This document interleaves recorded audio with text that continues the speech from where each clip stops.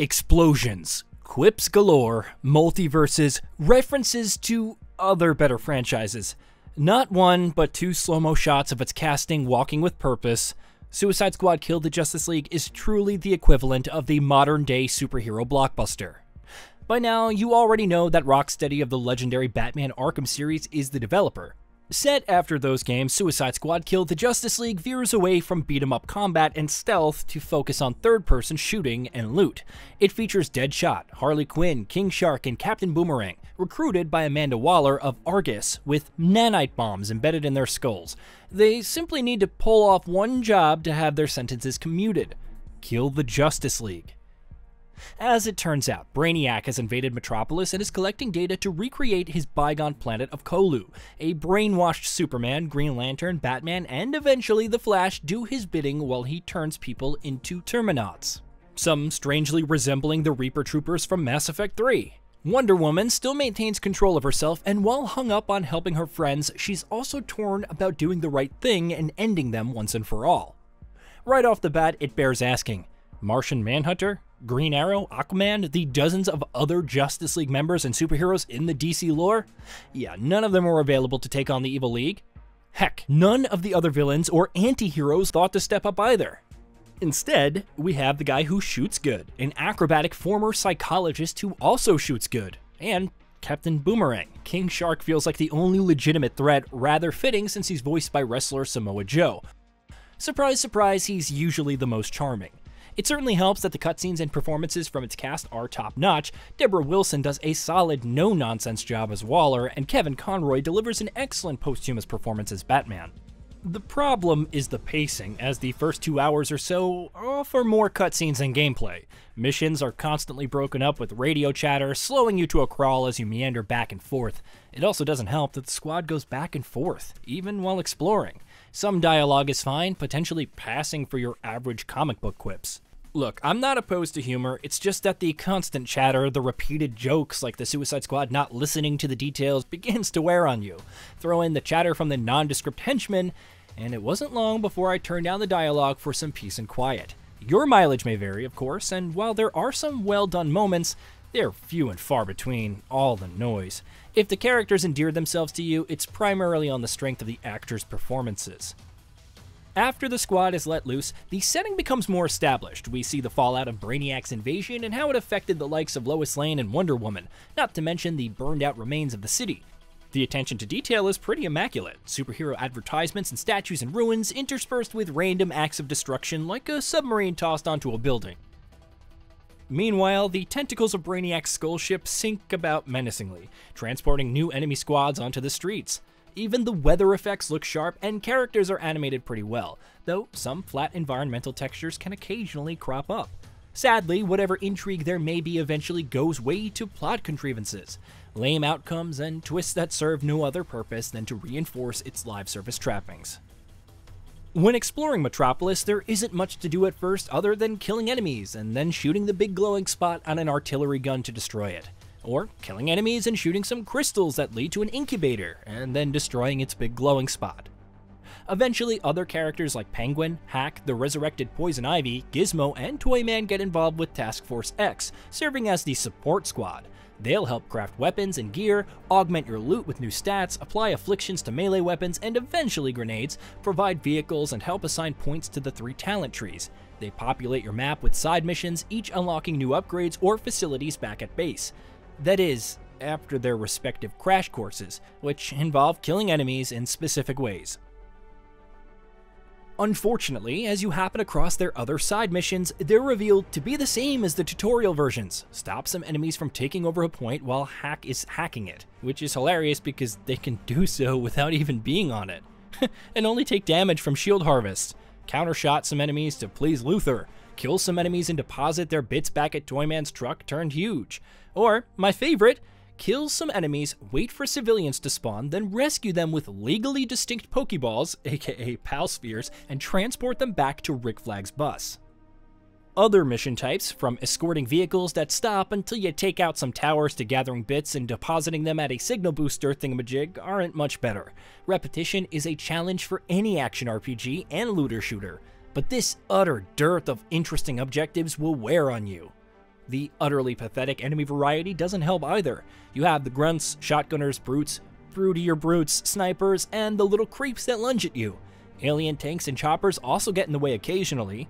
Imagine fighting those for hours on end. Eventually, certain foes are infused with the properties of heroes like the Flash and Batman. Imagine the sniper, the most annoying enemy type in the game, capable of shooting you across the map to suppress your movement abilities and teleporting if you get too close. Now it has stealth camo and doesn't have a counter shot indicator. Fun! It's a shame because Suicide Squad Kill the Justice League does have something going on for it with the combat. Each character has a unique traversal method, from Deadshot's jetpack to Harley Quinn's grapple. On the surface, they may not seem like much and feel unwieldy at first, but you do get the hang of it. The responsive controls make it easy to teleport across large distances as Captain Boomerang, while King Shark's leaps and high jumps pack the expected destructive grace. While each ability requires recharging, you can mitigate that by wall climbing or sliding as soon as you touch the ground. Eventually, it becomes fun to chain movement abilities, though Harley's really could use some work in the traversal speed.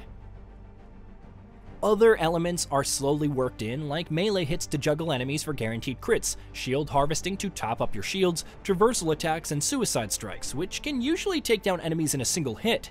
The shooting also feels good. It's a far cry from, say, Sunset Overdrive when comparing other movement based third person shooters, but it does work.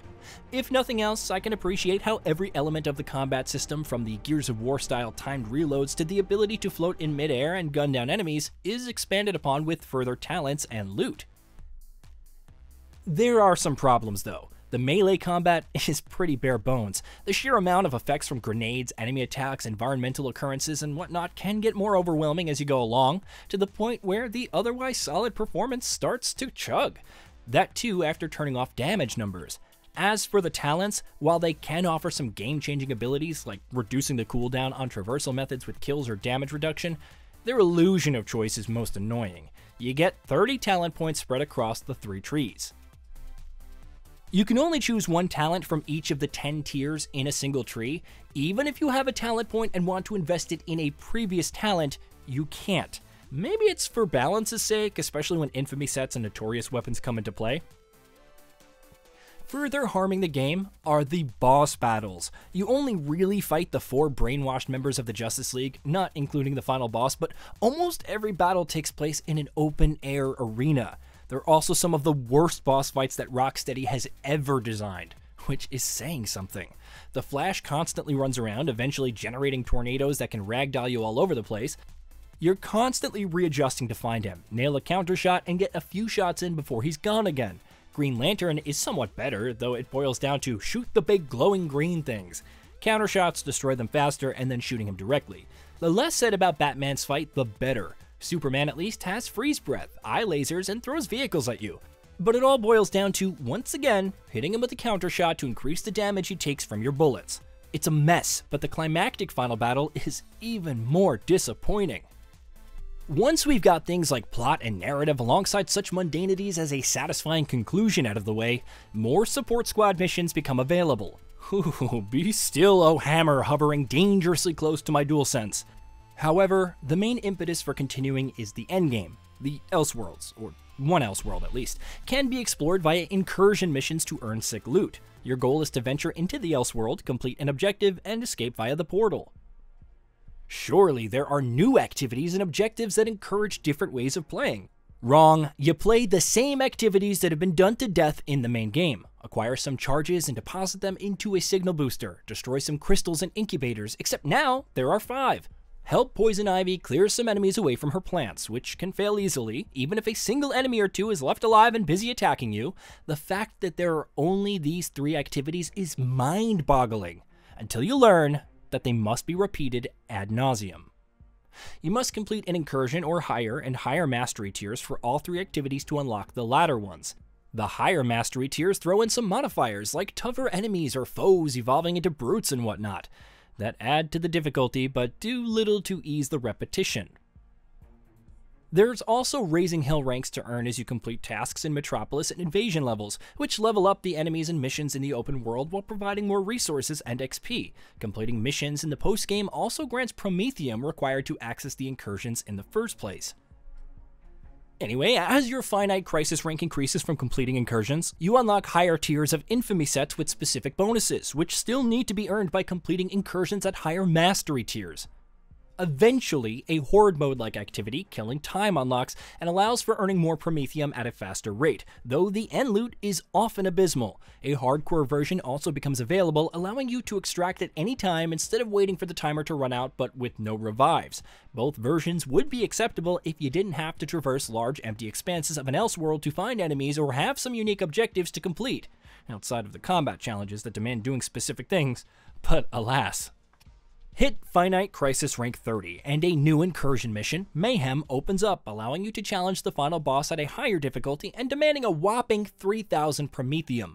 Would it have been better if the final fight wasn't a chore? Probably. It's a more bullet spongy version of a battle that was already a massive disappointment, and gameplay wise, I'll pass. As noted earlier, I can appreciate some of the thought that went into the infamy sets and weapons. Bane is the theme for the current infamy sets as you inflict Venom Frenzy onto enemies, shoot them to gain a buff which increases grenade damage, and go to town. A legendary grenade that constantly drops your shields but grants 500% more damage with the grenade suddenly becomes a strong pick. That's only tier 1. Tier 2 can provide benefits like gaining 1% damage per every 1% health an enemy loses. Throw in some infamy sets for other villains like Black Mask, Two-Face, and Hugo Strange, some capable of forming villain synergies and the ability to have multiple set bonuses and synergies active, and there's a lot to unwrap a system for further leveling and assigning incremental bonuses to weapon damage, damage resistance, and so forth are also in place. It's pretty straightforward, almost to the point of boredom, but offers yet another way to gain power over time. As you focus on a single character and level them up, other characters will auto-equip what should be stronger gear. However, they won't level up and thus won't gain talent points unless you assume control directly.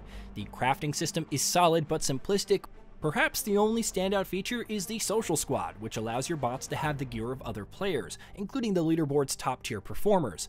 I didn't feel the need, especially since the hit or miss nature of the AI, which alternated between shooting at an already damaged incubator to executing suicide strikes with Aplum, didn't inspire much confidence. At its core, Suicide Squad Kill the Justice League is exactly what WB Games likely envisioned for it a live service platform that it can build on and monetize for an extended period. As a story, it's ultimately a waste of time and little more than a setup for extensive busy work. The loot and shooting mechanics are acceptable even if the melee combat is middling. The activities range from dull and repetitive to mind-numbing, and even with the promise of better loot and set bonuses, the mutators and mastery tiers don't do nearly enough to liven up the endgame.